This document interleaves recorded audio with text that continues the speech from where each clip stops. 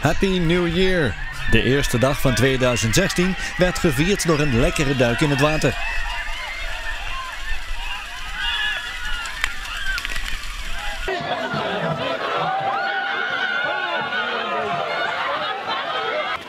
De dertiende editie van de nieuwjaarsduik in Zeewolde, georganiseerd door de Service Club Rotary, was weer druk bezocht.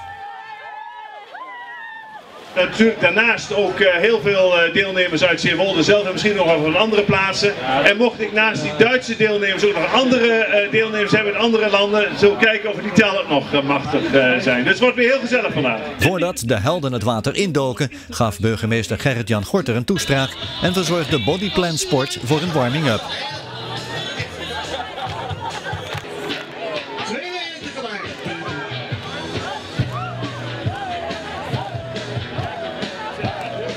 Na de duik konden de deelnemers een oorkonde, een medaille en een Unox-muts in ontvangst nemen.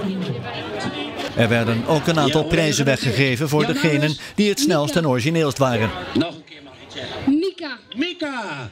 Geweldig dames en heren. En deze prachtige beker is voor jou. Voor die prestatie die jij vanochtend hier of vanmiddag hier geleverd hebt. Ook was er een prijs voor de Beach Babe ja, 2016. Deze die houden we weer voor de volgende keer. Goed zo, dames en heren. Onze enige echte Beach Babe 2016.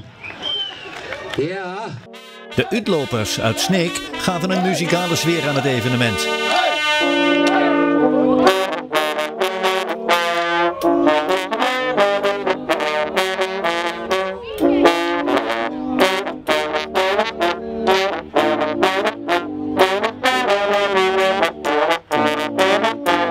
Met hun muziek kregen ze ook het luisterend publiek aan het dansen.